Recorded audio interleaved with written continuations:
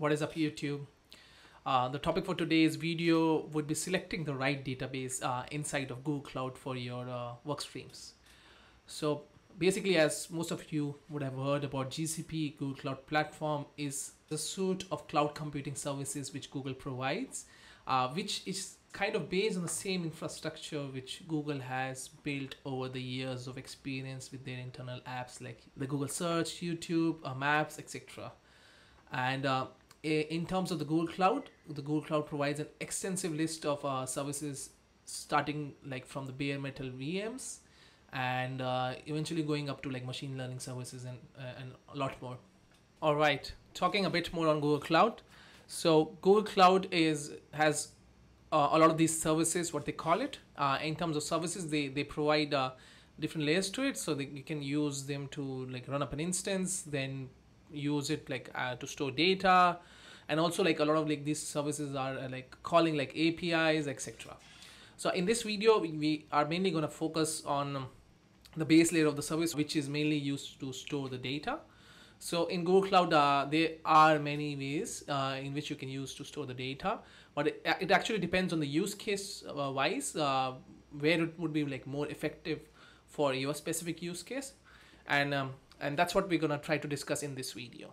So uh, let's look at the uh, actual services which are in place in terms of Google Cloud. let me quickly share my screen as you can see in terms of services i've kind of laid out uh, the different types which are available so you can always go and uh, start your own open source database basically just hop on to google cloud create your own virtual machine of the desired configuration and then like use docker or, or like any installation script.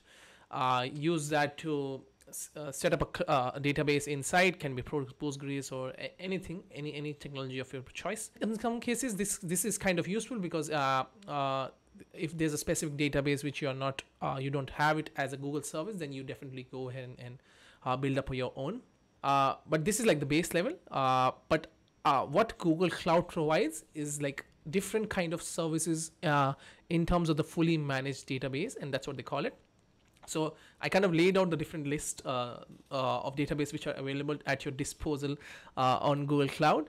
So it starts from like five Firebase storage, cloud storage to like which ends up like to uh, BigQuery, which is like a warehousing solution.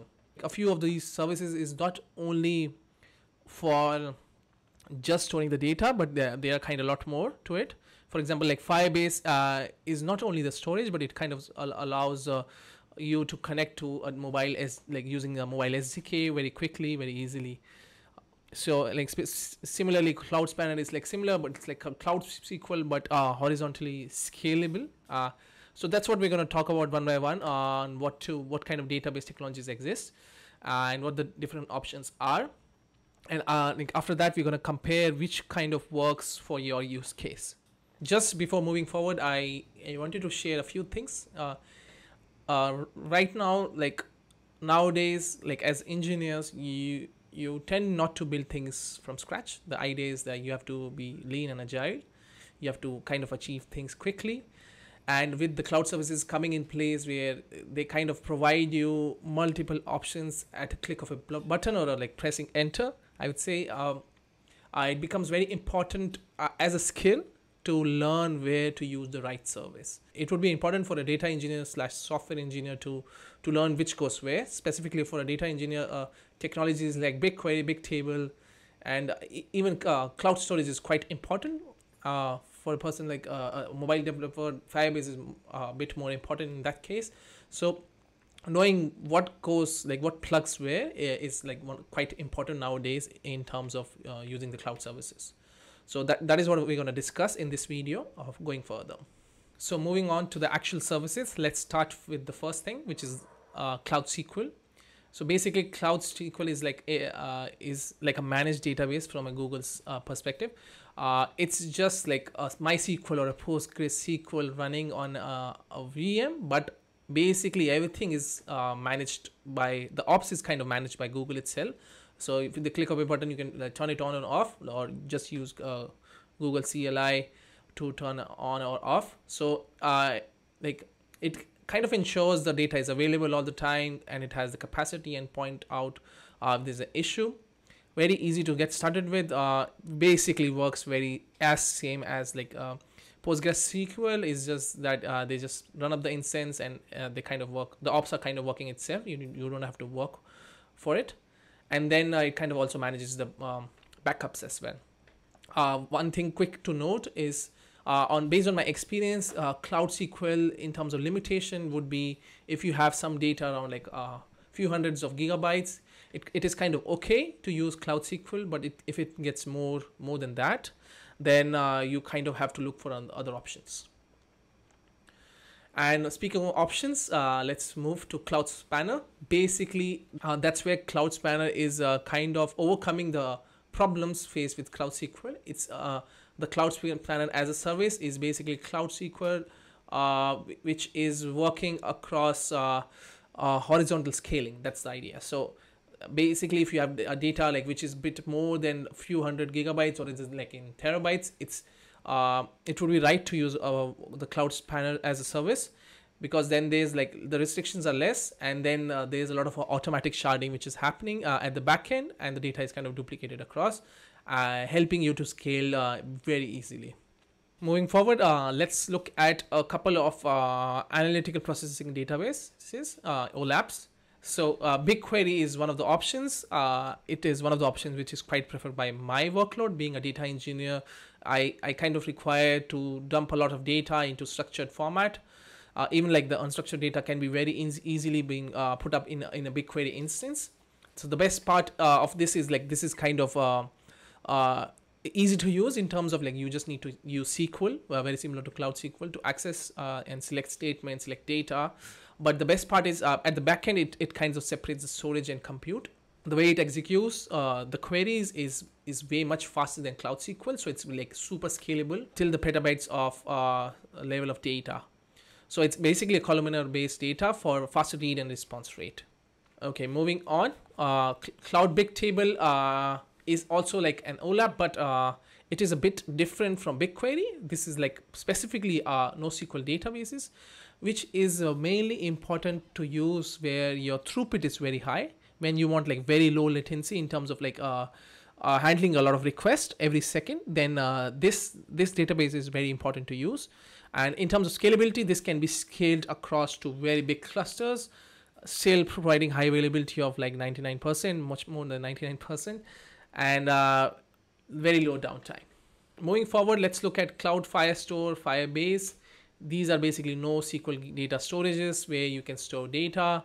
Uh, it's more of a key value, uh, key uh, value object store where you like you kind of define a key and then uh, it stores like JSONs in, JSON in, inside of it. Very similar to uh, DynamoDB in AWS, the way I feel it. Uh, but that's more of it if you want to store uh, like NoSQL data, which has a lot of uh, unstructured data, uh, like a lot of columns which are um, denormalized, then this is the way to go.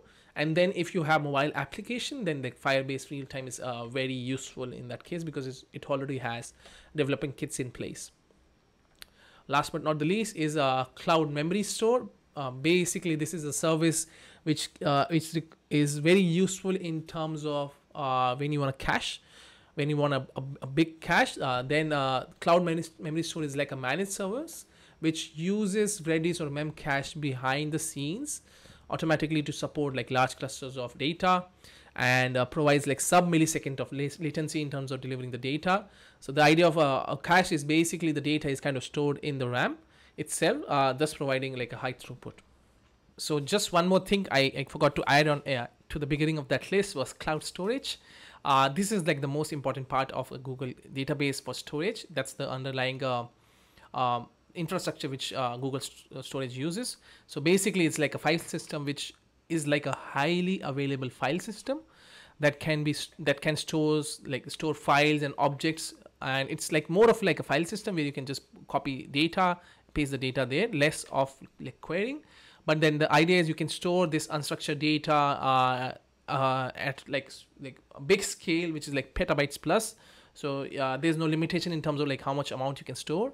And specifically it's quite cheap to use because it's just storing files on on, on the service. So uh, pretty interesting to use when uh, uh, you have like huge petabytes of data that can be very relatable to a, few use cases like telecom etc so you can just go there and use it. One more thing and it also like uh, uh, the best use case of cloud storage is storing uh, a lot of images or text or videos. Uh, it makes sense to use this service because uh, the instruction data is kind of just stored there as an object so pretty interesting and uh, all of these services are very easy to uh, start on with and use um, uh, in your respective use cases all right so moving on to the part where uh, we look at uh, these services at a high level. So I kind of prepared uh, this table which looks at different services in terms of different attributes on the left. So you can see like capacity, access metaphor, read, write. So it kind of compares. It's it's very easy to compare uh, all these databases across these points. Um, so uh, within this, you, it kind of helps you. This map can easily help you to decide which uh, which database to use for your use case. So you can look at like cloud storage, which is like a petabytes uh, plus uh, capacity compared to uh, uh, Google Cloud SQL, which is like uh, a few hundreds of gig- gigabytes. But if in case you want to move away from like, uh, like uh, away from like the problems of the Cloud SQL, you can go to Cloud Spanner, which has like terabytes of scale. So uh, very easy to compare in terms of your use cases, and then you can also see um, uh, like a few attributes like on how you can read or write. So you can see like in terms of read or write, you can in, in for reading uh, the cloud storage is uh, mostly copying like a disk. It's just like a file system, but Cloud SQL. Uh, uh, Cloud SQL BigQuery is more of a SQL syntax. That's why I've added like a SQL syntax like select. And then Firestore is like filtering objects because it's like a NoSQL databases. It's similar to SQL, but yeah, the, the way of uh, using it is just filtering objects on properties, which are the attributes. And then uh, there are a few more attributes to it. Uh, the update granularity, where you can see like uh, the problem with cloud storage is if you want to update the data, you can only do by file by file level. Uh, uh, that's why when people use this database, they use it in a structured format of like using like years, year, month, date. So the data is kind of uh, uh, stored in batches, so it's easy to uh, pull out and update in that case. But uh, moving on uh, to other databases to compare, you can see the, the SQL types of databases. It's e- easy to update on a field level, which is and for Firestore it's an attribute similar to like a field, but specifically for uh, BigQuery, uh, big table, which is being done at a row level. So you, you need to be cautious on that. And um, I think that's most of it. I'm gonna share this uh, uh, this uh, sheet uh, across in the link, so feel free to check this one out. All right, moving on to the last part of the video. So uh, in this one, I'm I kind of prepared uh, a, a flow chart which is kind of inspired of, from a, a few videos I've seen before on Google Cloud. But yeah, this is kind of what I prepared uh, in terms of decision making, which might be able to help you um, in terms of uh, the technology to decide uh, and place plug and play where your use case is. So the way I, I see this is like uh, you start from uh, the structure and see like if your data is structured, then uh, then then the next question kind of arrives. Uh, for me as a data engineering uh, if like you want to do analytics or you don't like you want to use like an oltp instead of a olap so if it's like an olap then um, then the next question arrives uh, if you want like very high throughput like for most of the use cases bigquery works so this is this kind of results to bigquery. But if you want like really high throughput and very low latency uh, then big big table is in place. Uh, there's there are a few shortcomings of the big table where you need to decide uh, the right index to filter out your data at a very high speed. But apart from that the then big table will be able to manage your load. Uh, kind of an HBase uh, technology very similar to that. But and coming back to bigquery if you want to do analytics like at a petabyte scale of data you and you would want like some structure which is in place then use this uh, BigQuery to analyze your big sets of data. It's very easy to import and then kind of use just SQL to analyze the data. And uh, there are a lot of add-ons where you can just connect uh, a dash- dashboard directly or build ML models on top of it or just use simple queries to analyze the data. Uh, works perfectly in that case. But uh, then if you don't want to use it for analytics and then it's like an oltp for processing you would want then uh, you want to check for the another parameter if the data you want to store is relational uh, so then this question is like the universal question comes in like SQL or no SQL. Uh, a lot of the use cases are managed by SQL, and I kind of prefer SQL.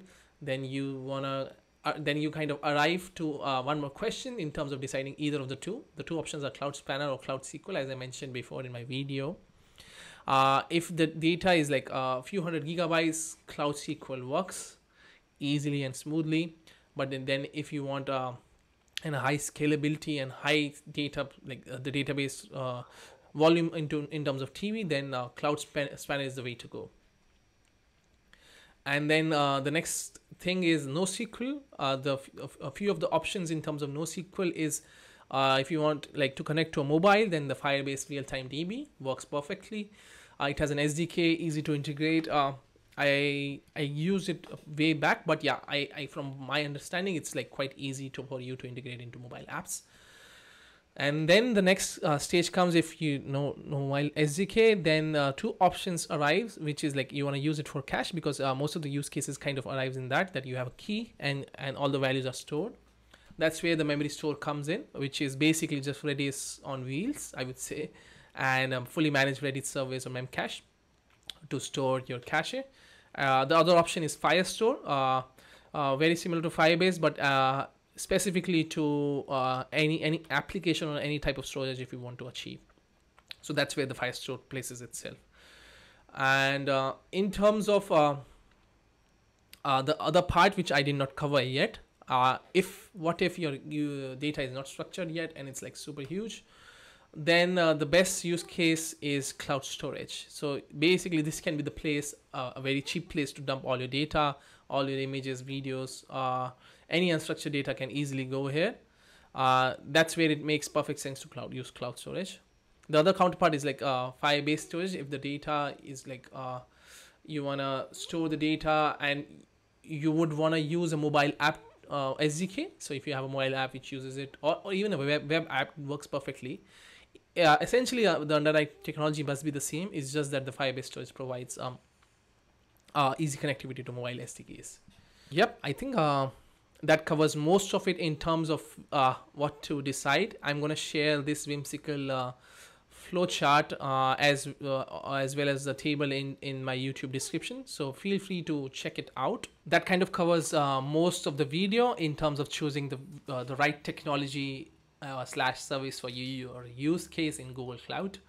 Uh, a few things to add on. Uh, if you kind of found uh, this video to be helpful and it added value to your use case, then uh, please hit the subscribe button and the like button. Uh, it kind of helps me recommend this video to other like very similar people like you. And thanks a lot for watching this video.